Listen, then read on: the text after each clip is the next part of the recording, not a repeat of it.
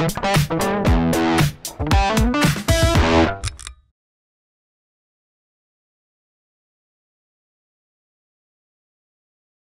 we're going to get into 517.13, which is the major part of our conversation to make sure we protect people. The wiring to, that means from the panel to the patient care space, and the wiring in the patient care spaces must comply with 517.13 A and B, which is what we're leading up to. A and B. Okay, let's talk about wiring methods. The equipment grounding conductor, A.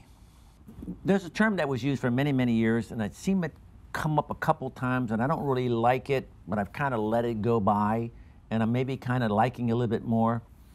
Um, it's a word called redundant. That we want to have a way to make sure that in the event that there's a fault, because once you have a fault, you have potential. We want that potential, we covered that, right? You already covered that, so we know about that. In the event of a ground fault, we want to clear that fault as fast as possible. We talk about time current curves and all that stuff in theory and everything like that. But we want to make sure we kind of like have a backup. So what the code requires is the feeder or the branch circuits to the patient care areas and the wiring in the patient care area must have an equipment grounding conductor or an effective ground fault current path. I'll use the word mechanical that would be like the EMT. It would be like uh, the armor of MC cable, the armor of AC cable. That's a mechanical equipment grounding conductor. And then, Peter, uh, that's going to be A, mechanical. Then I'm going to jump over to B. And B, Peter, I, I want to, beside having a mechanical effective ground fault current path, I want to have an equipment grounding conductor of the wire type because Peter, I'm, I'm, I'm hooking them up in two different ways. The thought is that, well, maybe I mess up the pipe, maybe I mess up the connector, but I have an equipment grounding conductor. Maybe I mess up the equipment grounding conductor. You guys with me when we covered pools on, and bonding and grounding? Michael Sloan died because the equipment grounding conductor was not put together in a connector. So by having a dual function effective ground fault current path or redundant, which is not covered, it used to say in the code redundant, that allows us to provide a double level of protection. So we're looking for the wiring method itself serves as an equipment grounding conductor. And in addition to that, we have an equipment grounding conductor the wire type. Follow the logic, Peter? Now let me get into the language and let's see how that works out. All right, here we go. This slide says, the wiring to and for patient care spaces must comply with 517.13a, mechanical, and B, wire type, equipment grounding conductors. Okay, A, wiring methods, the equipment grounding conductor. Here's what it says. Branch circuits serving patient care spaces must be in a metal raceway or a metal cable having an armor or sheath that is suitable as an equipment grounding conductor, which meets the requirements of 25118. So what are they going to include? Well, EMT, that's an equipment grounding conductor. Flex up to six feet for circuits 20 amperes armor cable with the 18 gauge aluminum bonding strip. This is all stuff that we talked about in, in, in, our grounding and bonding course. We described all of this, so I'm not repeating it. If you're not familiar with that, you might want to have to go back a little bit. MC cable, where you have a 10 gauge aluminum bonding strip that bonds each convolution. That wiring method is considered an equipment grounding conductor. MC cable, I'm sorry, um, MC cable traditional type, if you have the green wire without an aluminum bonding strip, that is not an equipment grounding conductor. And PVC obviously is not equipment grounding conductor. Peter, many people have attempted to say, hey, can I pull two ground wires in PVC? Yep. You know what I'm common, saying? Common fail. Can I just put two ground wires? No, no, because they're what? They're both equipment grounding of the wire type. I mean, the chance of you making a mistake, you can hook probably even more. Because now you hook up one on one end, you hook up one on the other end, and neither one of them are tied to anything. Yeah. You know, right, Brian? Well, actually, I think that's a really good reason to support you being uncomfortable using redundant. Um, and, and I talked about this on the bonding and grounding video, but I, I really did not understand this require the purpose of this requirement until I was actually having an inspection with an ACA inspector. There's several different inspections. What does that mean? To get. So when you when you do a healthcare facility, you have five to seven inspections for every single thing you do. Um, you've got the uh, electrical inspector, of course. You've got the hospital's electrical person. They have an electrical inspector in a hospital. You have the Joint Commission does an inspection, which that's suitability for the use and the licensing and all this stuff. Then um, you have an ACA inspection, which is a healthcare, basically certification. You've got the local fire marshal and you've got the state fire marshal, and then sometimes there's some additional inspections that happen. Point being is there's a lot of people looking at the work. And most of them are not very nice people, to be completely honest with you. I think they have to deal with a lot of crap. They're always grumpy. They don't ever want to explain any, anything, and you fail everything. I mean, it's just the way it works. That is true. And so I'm getting this inspection, and you know, I, I said, listen, I really just don't understand this whole why you have to have the metal wiring method. It doesn't make any sense to me. I could just run two pieces of number 12 in any kind of raceway I want, and it's way better than mm. a metal wiring method. Yeah, yeah. And he's like, well, Brian, he's like, that's where you don't understand what we're trying to achieve. He's like, if I use a metal wiring method, he's like, there's hundreds of points of connection to the structure of the building. He's like, if there's two conductors, he's like, and a box gets opened up, mm. both equipment grounding conductors could be separated. He's like, if there's a, a wire wire type conductor and there's a metal wiring method that's the second path, also an equipment grounding conductor, and you take a sawzall and you cut completely through it.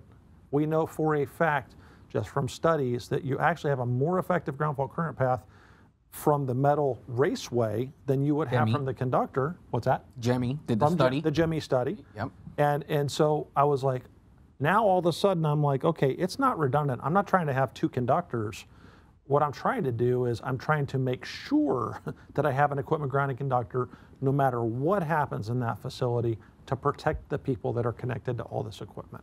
And all that metal raceway with all those metal boxes touching and all that metal inside Very the low- entire very low hospital. resistance. There are a gazillion paths for fault current to travel to get back to source. So if this failed or that failed, there's still a a good breaker. chance that we're going to clear fault. Yeah. Okay, so now that we have that concept, we know that metal raceway, metal cable that serves as the equipment grounding conductor is your mechanical effective ground fault current path. Your traditional MC cable is not suitable because the outer sheath of that cable is not listed as an effective ground fault current path at all of the interlock type. Here is armor cable with the 18 gauge aluminum bonding strip. That is fine. And that's a very common wiring method, and people call that hospital grade MC cable. Well, it's not hospital grade MC cable, it's hospital grade armor cable.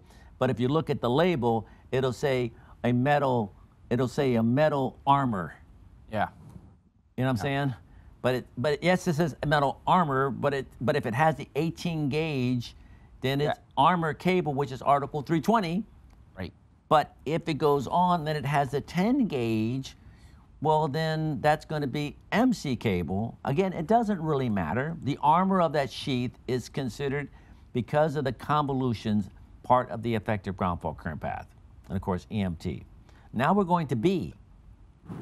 B says the redundant one, an insulated copper equipment grounding conductor with green insulation along its entire length must be installed within the wiring method that we just described in 517.13a. And that equipment grounding conductor is going to have to be connected to the grounding contacts of a receptacle. That's what 517.13b1 is. So you're going to have to connect that to the grounding contacts of the receptacle. It's also going to have to be connected to the metal box. That's going to be 517.13b12. We have to bring an insulated equipment grounding conductor to the box. Number three says anything that's going to be electrical equipment, you're going to have to bring an insulated equipment grounding conductor to that equipment. Remember, you still have the wiring methods. That's an equipment grounding conductor. Mario? Yeah, I just want to make a just a quick, quick point. If we go back to our graphics, and and we show the graphic of the MC, the green MC cable or or AC cable, uh, whatever the case is, you got to make sure you use the correct fittings with that cable, and you also have to make sure you follow manufacturer's instructions on how to connect that fitting to the box with that cable. you know, here we're doing everything else right, but we, we don't even terminate, we don't terminate it correctly. But just, that's part of why we have to have the equipment grounding conductor, you know what I mean? Because, Right. okay, all right, back to where we were. All right, so we need to have the receptacle connected to an insulated equipment grounding conductor, the box connected to an equipment grounding conductor, insulated type. We need to have metal parts of equipment, like the cover plates, whatever, connected to equipment grounding conductor. We need to have the cover plates connected to equipment grounding conductor to say, well, the way you can do that is uh, simply by having the screws, metal screws, mounting it is a way that you can get those covers connected to an equipment grounding conductor. That's an exception because you don't have to do it directly with a wire. You can make the screws work out. And then it goes on and says, listen, this, this area that's six feet around and seven and a half feet from the ground near where an examining bed is going to be and what have you, that's called the patient care vicinity.